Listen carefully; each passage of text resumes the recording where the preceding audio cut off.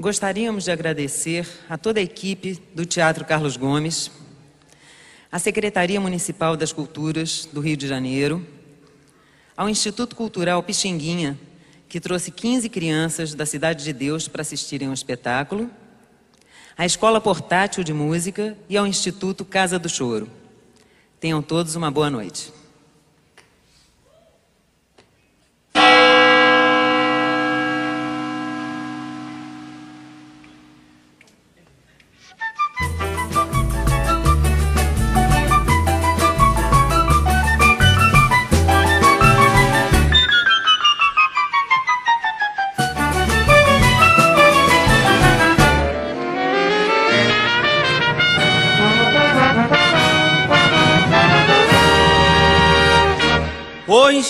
Instituto Moreira Salles, a imprensa oficial do Estado de São Paulo, orgulhosamente apresentam.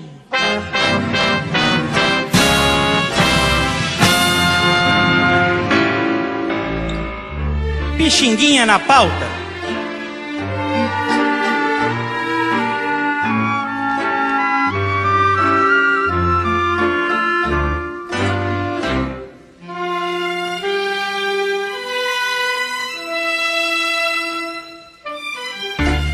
Arranjos exclusivos, feitos por Pixinguinha para o programa O Pessoal da Velha Guarda, comandado pelo saudoso Almirante, a mais alta patente do rádio.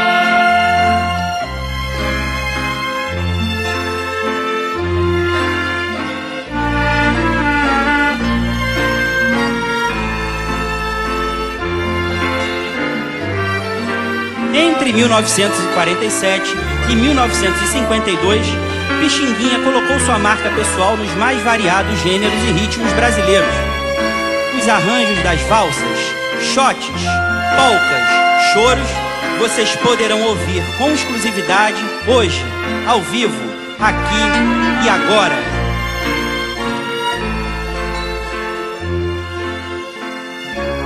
Com vocês, Pixinguinha na pauta.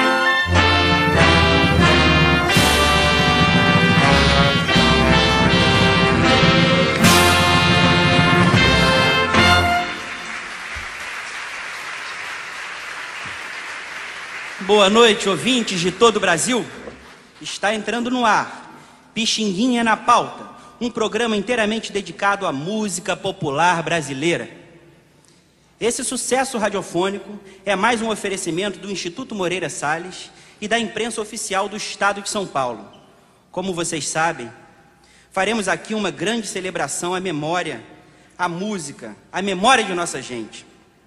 Memória que poderia estar perdida não fosse o esforço e o talento de gente como Almirante e Pixinguinha. Uma salva de palmas para eles.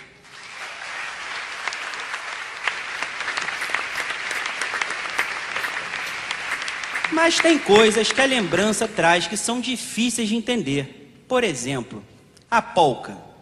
A bichinha chegou da Europa, lá pelo século XIX, tomou um sol, se bronzeou e no Brasil virou gênero musical dos mais ricos e variados que existem. Ainda bem que o Pixinga explicou pra gente. Como é essa tal de polca? Assim é que é.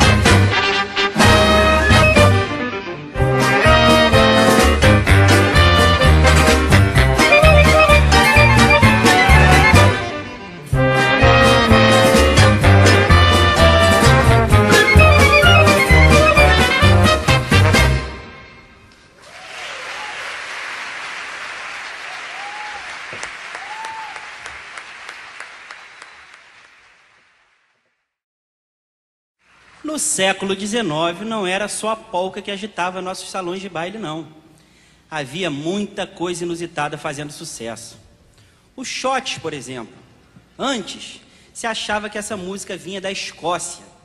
Depois se descobriu que a única coisa que veio de lá foi o uísque que o pessoal tomou quando batizou o gênero. Mas o importante é que depois que chegou por aqui, ele foi se abrasileirando. No Rio, virou shotes. No Nordeste, shot. E ficou tão tropical que Eduardinho Violão compôs um belo shot que chamou de Salve o Sol.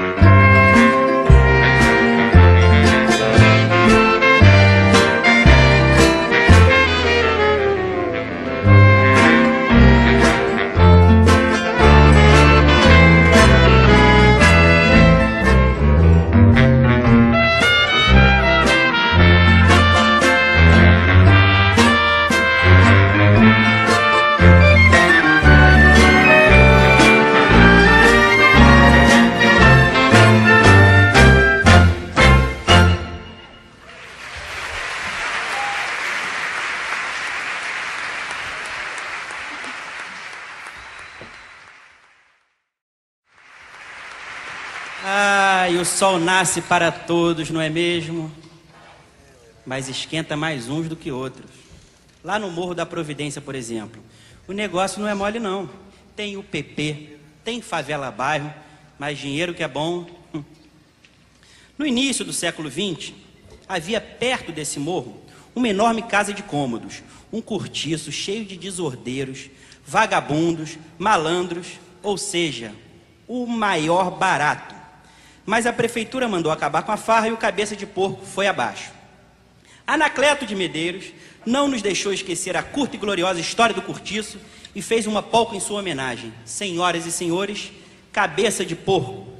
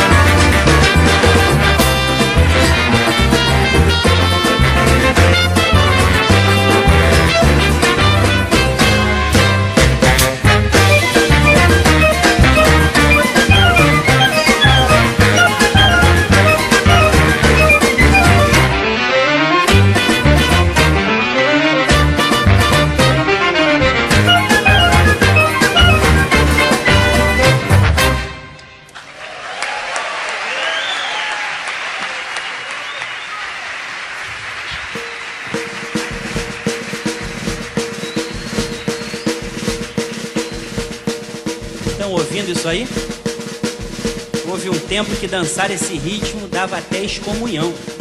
Machixe, a dança indecente.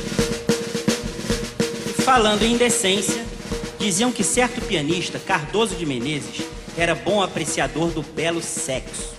Certo dia, lançou seus olhares maliciosos sobre uma linda mulher que frequentava o cinema onde ele tocava.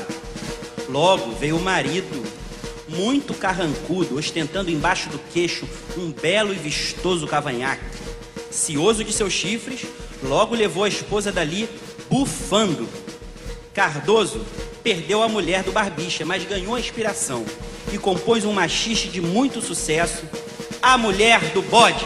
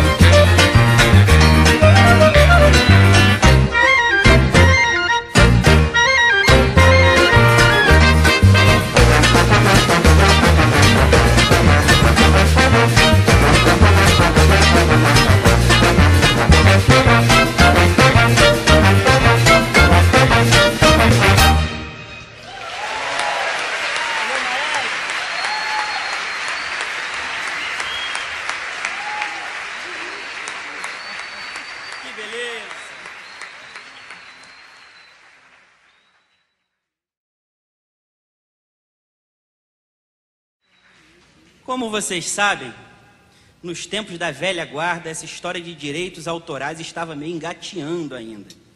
Vida de compositor não era mole, não. A batalha era dura.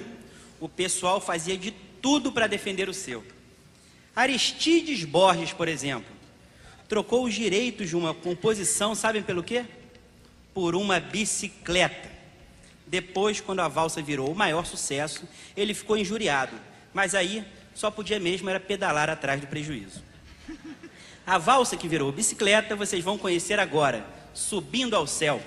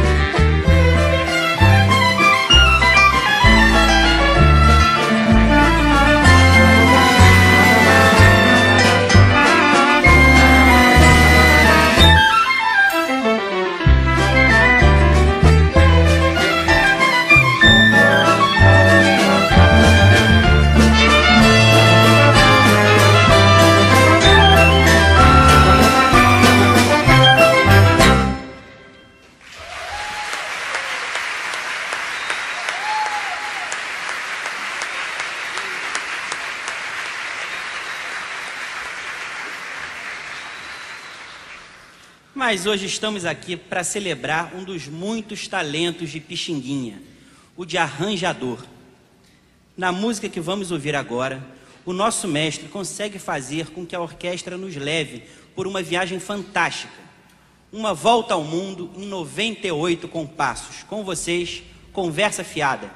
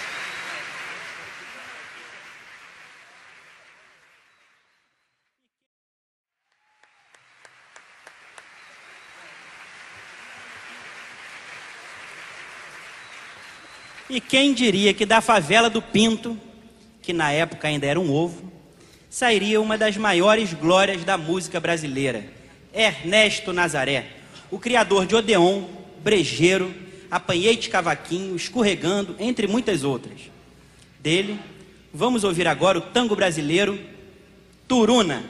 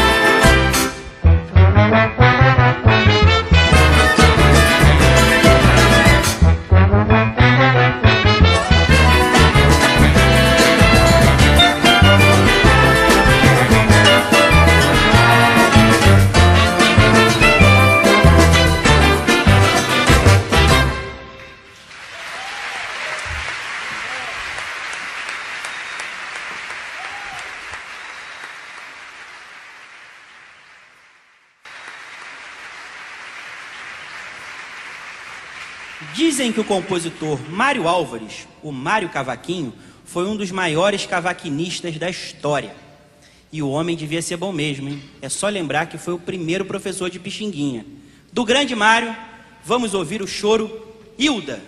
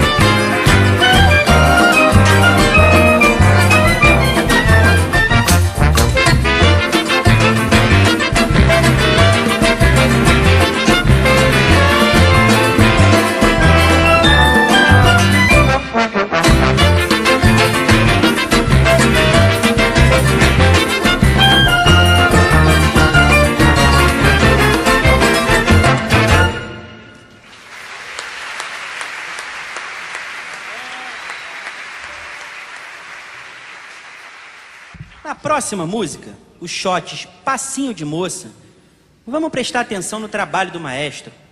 Para evocar o nome da música, ele usa os violinos com muita delicadeza, fazendo psicatos que parecem mesmo passos de donzelas. Prestem atenção também nas variações de densidade da orquestra. Como Pixinguinha nos leva do pianíssimo ao tute em perfeitas transições. Ouçam com cuidado. Há um universo musical a ser descoberto. Passinho de moça.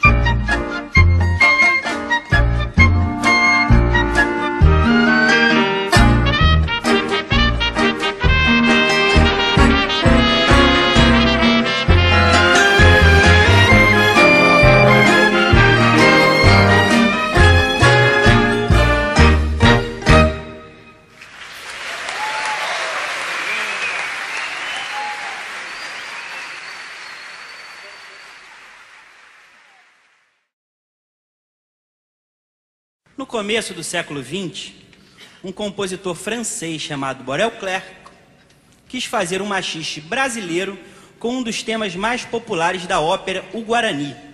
Até aí tudo bem. Não fosse um pequeno detalhe. O francês não tinha a menor ideia do que era um machixe. Ele acabou usando outro gênero, passo doble espanhol, mas mesmo assim fez grande sucesso até mesmo por aqui. Com vocês, o machixe só no nome e falsificado para francês ver. La Machiche.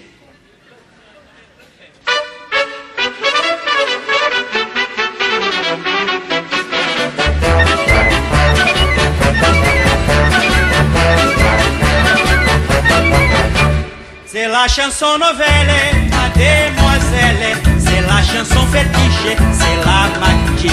C'est la chanson nouvelle, mademoiselle. C'est la chanson fétiche, c'est la matiche.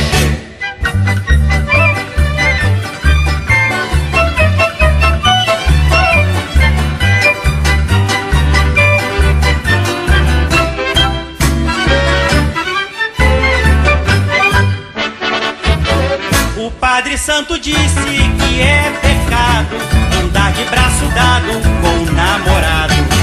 Padre Santo disse que é pecado andar de braço dado sem ser casado.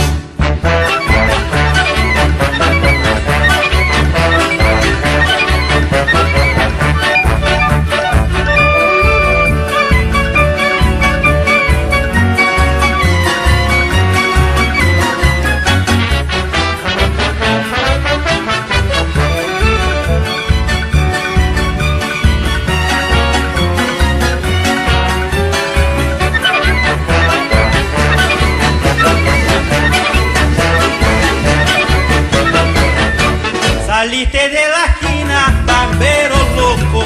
Mi madre no te quiere, ni yo tampoco.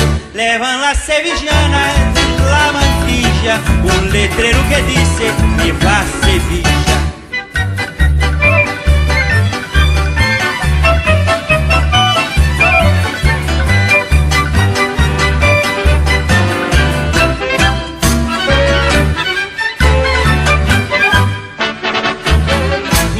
Fazer um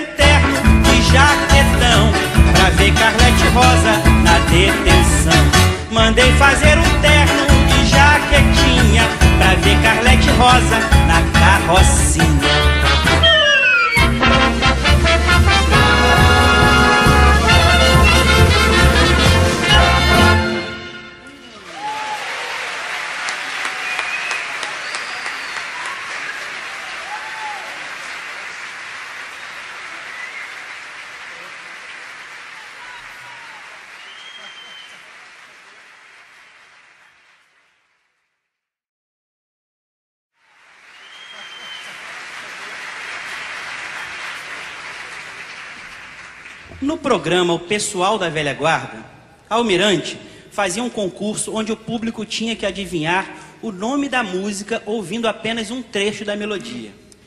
Nós vamos relembrar essa tradição e ver quem na plateia reconhece o trecho que será tocado agora. O primeiro a adivinhar leva o prêmio Pixinguinha na pauta. Atenção!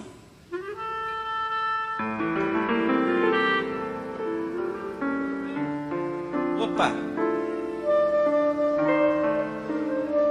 Falaram aí já? Não, peraí, peraí, peraí, calma, calma, gente, calma, por favor. Quem falou primeiro? Não, gente. Vamos ser honestos, vamos ser honestos. Foi um senhor.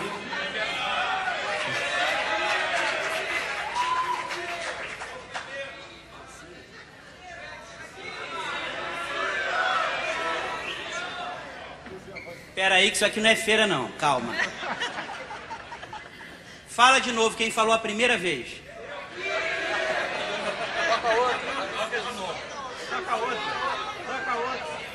Foi, foi você, não foi? Foi ele, gente. Então, como é que é? Vem pegar o prêmio aqui? Está aqui o seu prêmio, pode vir pegar? Uma salva de aplausos para ele.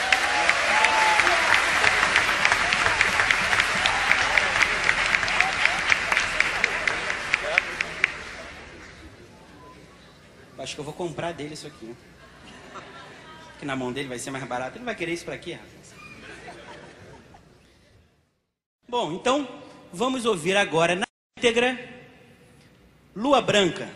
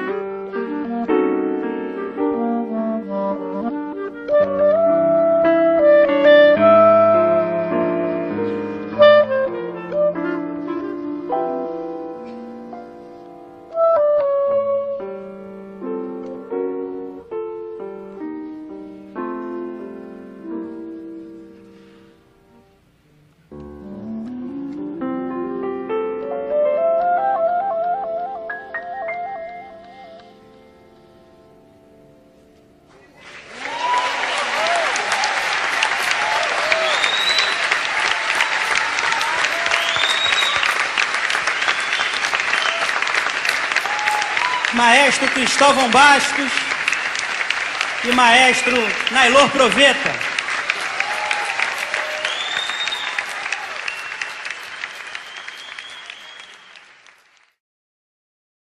Pianista, compositora, maestrina, inteligente, divertida, independente, visionária, é impossível definir em palavras o furacão musical que era a genial Chiquinha Gonzaga. Melhor que ela fale por si. Gaúcho, o corta-jaca.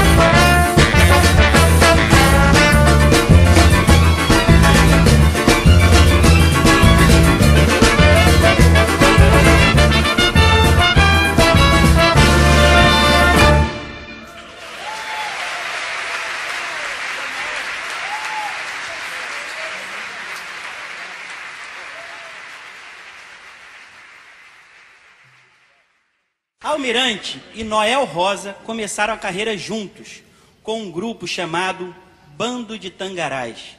O nome era uma homenagem a uns passarinhos cantores e dançarinos.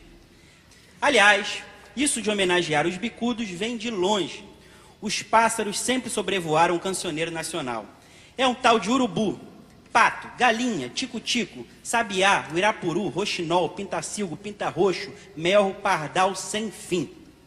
Pixinguinha não ficou de fora e compôs várias canções avícolas, como a divertida Marreco Quer Água. Prestem atenção no arranjo do maestro. Dá para ouvir direitinho a marrecada cantando.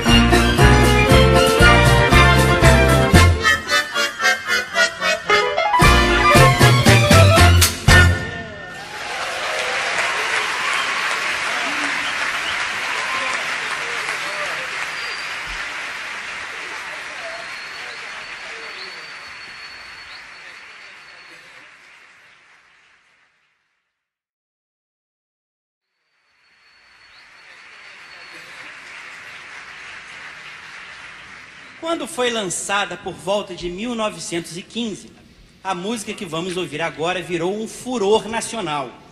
Na verdade, o que o pessoal gostava mesmo era de cantar a melodia. Não, era de cantar os versinhos que algum engraçadinho fez em cima da melodia da música. Era mais ou menos assim. Peru, Peru, Peru, quantas penas tem no. Peru, Peru, Peru, quantas penas tem no. Desculpa. Com vocês, Morro da Favela.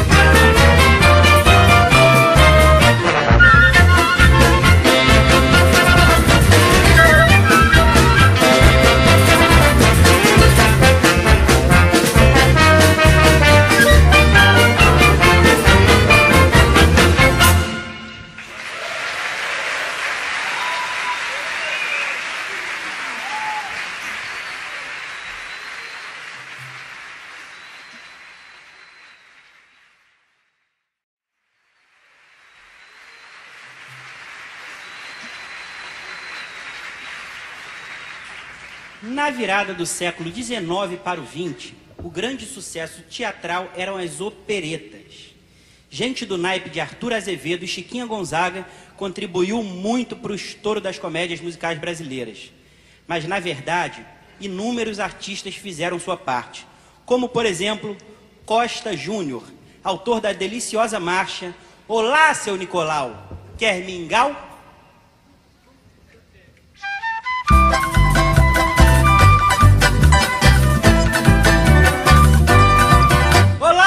Nicolau, quer mingau?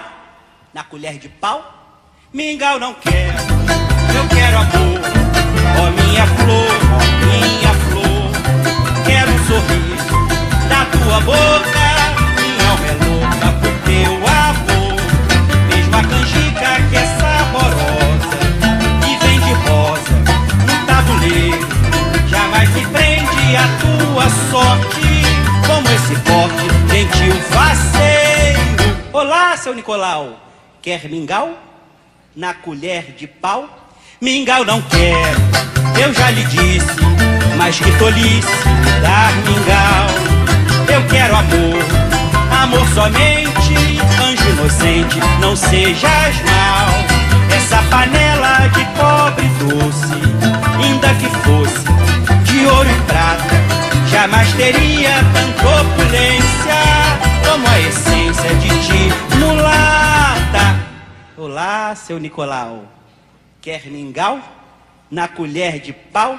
Se continuas nesse estribilho e no sarilho me traz a mente quando eu não peço dos seus pratinhos, nem dos bolinhos da grelha quente. Quando tu pisas com a chinelinha, ó oh, baianinha, que tentação eu quisera ser a calçada pra ser pisada no coração. Olá, seu Nicolau, deveras não quer mingau?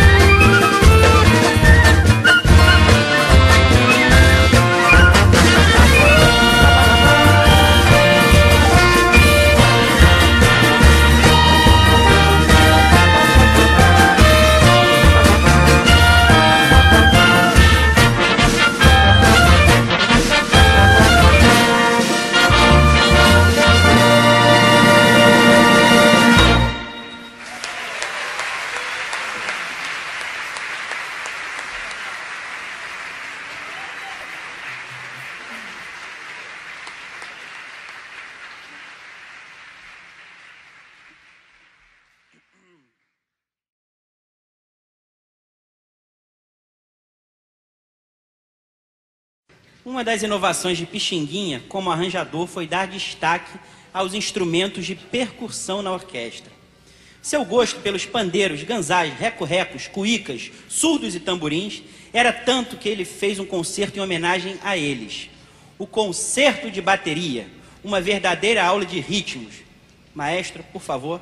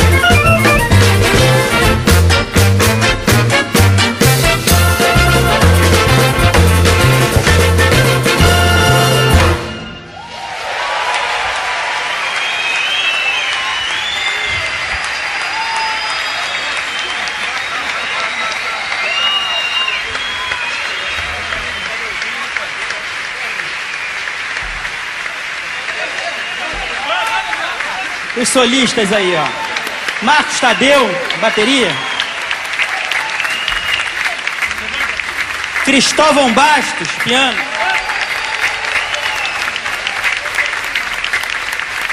Antônio Rocha, flauta. Aquiles Moraes. Nailor Proveta.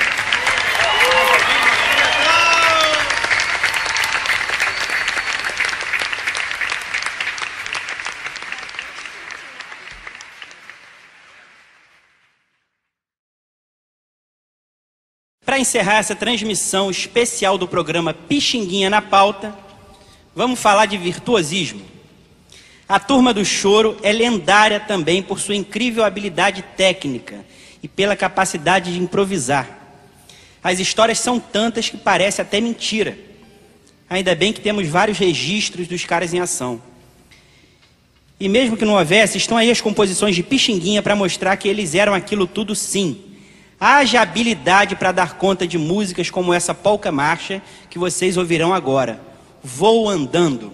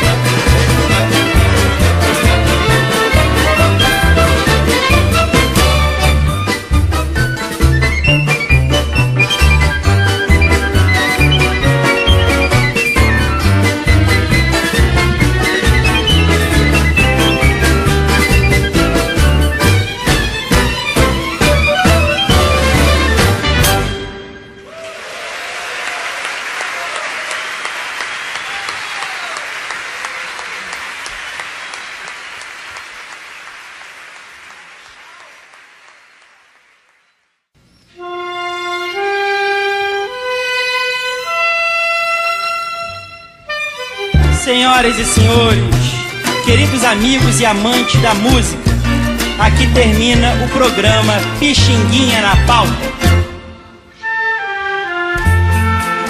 Felizmente, a nossa despedida é apenas temporária.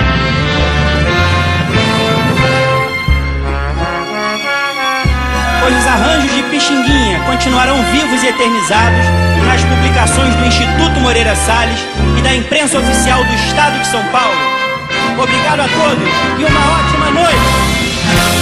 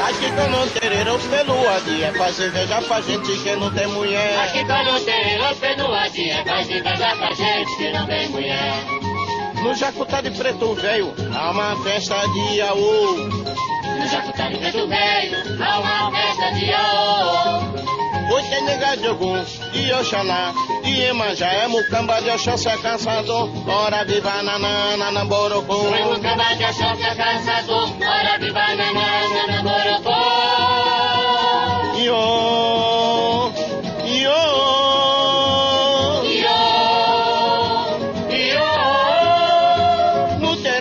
Preto velho, iaia, e ora vamos saravá. Aqui, meu pai! Xang